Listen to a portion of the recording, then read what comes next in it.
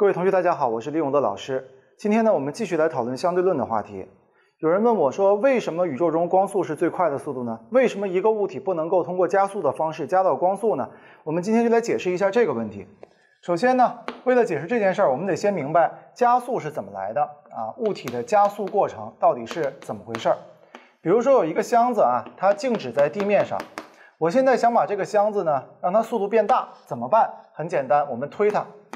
啊，我们给它一个推力，给它一个推力之后呢，这个物体就会往前加速，速度会越来越大。我们如果列一个表格啊，列一个表格，这个物体啊，它在不同的时间啊，单位是秒，比如说在零时刻，在一时刻，在二时刻，在三十克，它的速度单位是米每秒，是零一二三。也就是说，在零这个时刻速度是零，在一一秒这个时刻速度是一米每秒，在两秒这个时刻速度是两米每秒，以此类推啊。那么这个物体就是在加速的，我们就可以定义一个量，叫做加速度啊，加速度，加速度 a 等于什么呢？加速度 a 就等于你速度的变化再除以时间。咱们看，你每过一秒速度都变了一米每秒，每过一秒速度都变了一米每秒，所以速度变化是一米每秒。再除以时间一秒，它就等于一米每二次方秒，这就是你所谓的加速度。加速度就是用速度变化再除以时间的啊。比如说我们经常所说的重力加速度，什么叫重力加速度呢？就是物体自由落体的加速度。重力加速度叫小 g，它是九点八米每二次方秒，意思是每过一秒你的速度呢都会加九点八米每秒啊，这是加速度的含义。那么加速度到底该怎么计算呢？这就涉及到第二个概念，叫牛顿第二定律了。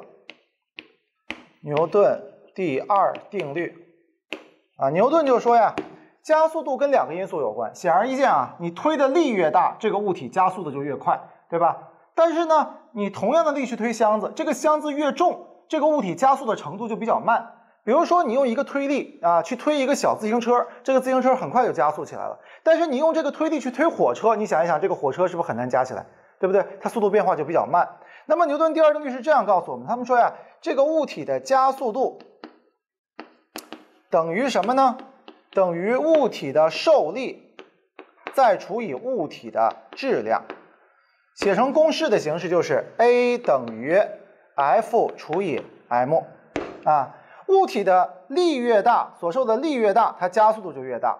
但是同样的力的情况下，质量越大，它加速度就越小。这就是所谓的牛顿第二定律啊。所以同一个力，你推不同物体的质不同的质量的物体，它加速度是不一样的啊。但是在经典的情况下，不管你加速度多大，你都是可以加速的。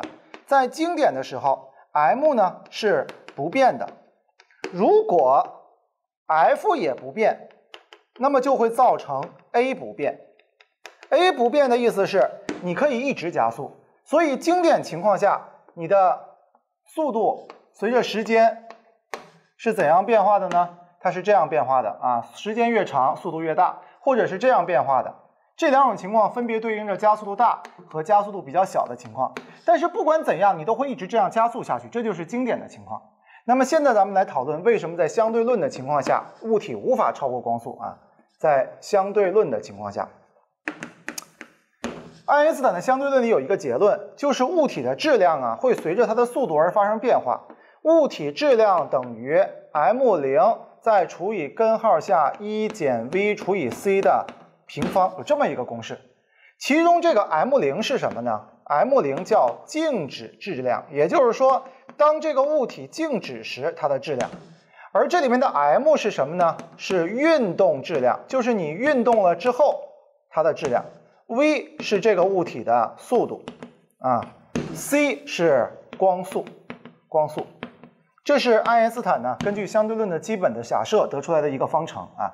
有了这个方程之后，我们就会发现呢，一个物体速度越快，就是 v 越快，v 越快的话，这个分母就会越小，那这样的话质量就会变大。所以有个基本结论，就是运动的物体，运动的物体啊质量大，运动的物体。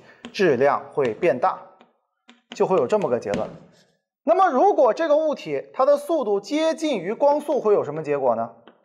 速度接近于光速的话，v 除以 c 就接近于一，所以这个分母接近于零，因此质量就会变到多大呀？质量就会变到无穷大。质量变大了，或者变到无穷大，那又如何呢？咱们回过头来看牛顿第二定律。当然，在相对论情况下，牛顿第二定律形式是有变化的。但是咱们现在先不管它那个形式变化，咱们就借用这个牛顿第二定律啊，加速度呢等于 F 除以 m。假如我们认为你的力 F 一直都不变，但是你的质量越来越大，加速度是不是就越来越小啊？如果质量趋近于无穷大，你加速度会趋近于几？会趋近于零。也就是说，运动的物体随着运动速度越来越快，它的质量会越变越大。因为质量越变越大，它加速度会越来越小，最终这个物体的速度也达不到光速。如果我们画个图像的话，那么这个图像是这样的：这是 v，这是 t，它的加速度啊越加越慢，越加越慢，最后就平过来了。那么这个平过来的速度就是光速 c。